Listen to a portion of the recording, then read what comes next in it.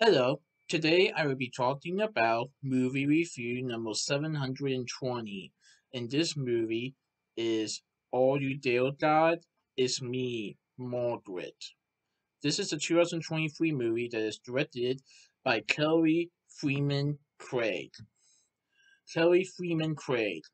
This is a Lionsgate Films and Gracie Films movie that is based on the book of the same name and I saw this movie on May 6, 2023 at CMX Cinemas in Liberty Township in Liberty, Ohio.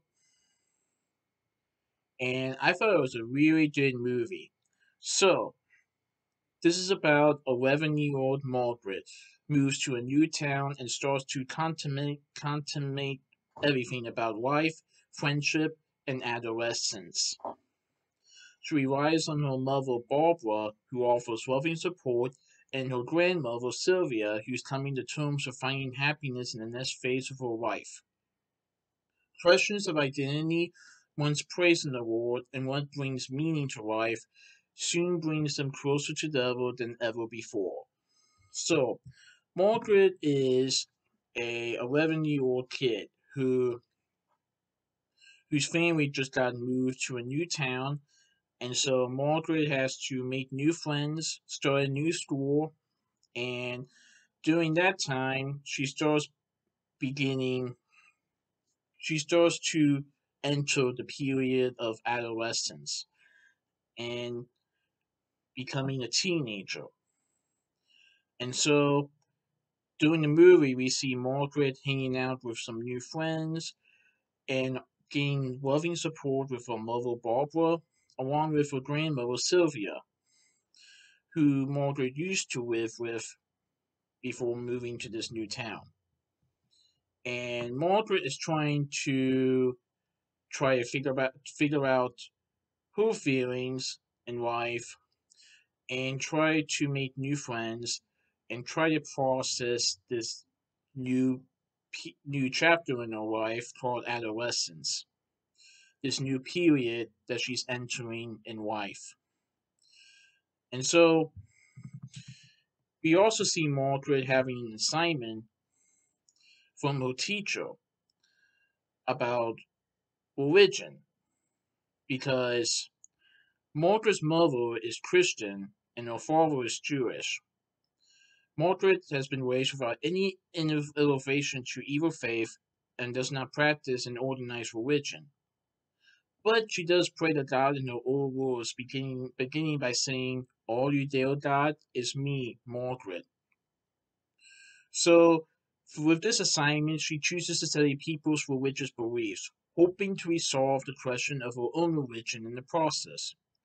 Part of her study involves attending different places of worship to better understand religious practice, and also to see if one of them might be right for her. And her grandmother, Sylvia, is also Jewish. And so Sylvia, at one point in the movie, takes Margaret to to a temple to learn about Judaism. And her parents, Barbara, and Margaret's father, just want Margaret to just have a good life and not be forced to be part of any religion. Um, and at the same time, Margaret is trying to figure out how to navigate this new life she is entering with teenaging, with becoming a teenager, as she enters this new chapter in her life. Um, and like I said, there's a move, there's a scene in the movie where Sylvia takes Margaret to a synagogue to learn about Judaism because Margaret's father is Jewish, while her mother's side of the mother's side is Christian. And Margaret's just trying to figure out what religion might be right for her. But at the same time, she's trying to get in touch with the new, with how adolescence is becoming with the boys and girls at her school along with herself. and I thought it was a really good movie, and it definitely explores some of the aspects of what's to come in a teenager's life. This is before a child becomes a teenager. And this movie definitely sets up the process of adolescence. I thought it was a pretty good movie. I definitely recommend it. And like I said, it's a book that's been loved for many generations, and now it's finally coming to the big screen. So yeah, I definitely enjoyed it. So that's my movie movie review of Are You There God It's Me, Margaret. Please tuned for my next movie review. Alright, goodbye.